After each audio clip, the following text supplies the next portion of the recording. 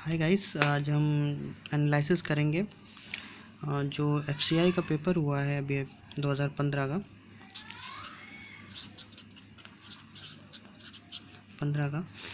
उसमें डिपोट और accountant general accountant की कट ऑफ़ किया जा सकती है। उसका डिस्कस करेंगे। पहले तो 120 नंबर का पेपर था। जिसमें जनरल की कट ऑफ़ जो होगी वो कहीं ना कहीं 90 से लेकर 95 के आसपास होगी। और दूसरा ओबीसी की जो कट ऑफ़ होगी वो एट्टी से लेके 85 के बीच में होगी। एस सी की जो कट ऑफ़ होगी वो कहीं ना कहीं 75 से लेके 80 के बीच में होगी। और एस सी की जो कट ऑफ़ होगी वो 65 से लेके 70 के बीच में होगी। ठीक है, अब जानते हैं ऐसा क्यों?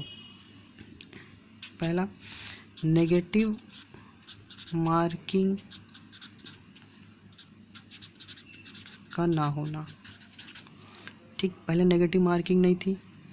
दूसरा पेपर मॉडरेट था। ना ज़्यादा टफ था, ना ज़्यादा इजी था पेपर सही आया था। और तीसरी चीज़ ये है कि ये अकाउंटेंट रिपोर्ट में जो है वो एक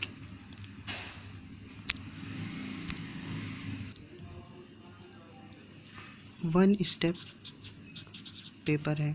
इसका कोई दूसरा पेपर नहीं होना है। एक स्टेप का पेपर है इसलिए कट ऑफ़ इतनी हाई जाएगी। ठीक अगर आप इस रेंज में लाई करते हैं तो आपके ब्राइट चा, ब्राइट चांसेस हैं कि आपका सिलेक्शन हो जाए रिपोर्ट अकाउंटेंट से। और ये कट ऑफ़ अमूमन इसी के आसपास ही रहेगी। ती, तीन रीज़न कट नेगेटिव का ना होना पेपर आसान आ जाना मॉडल ठीक ठाक और दूसरा एक वन स्टेप एग्ज़ाम है।